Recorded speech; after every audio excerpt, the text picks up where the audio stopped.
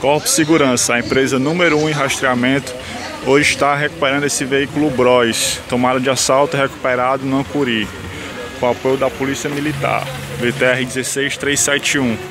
Corpos, quem tem está seguro.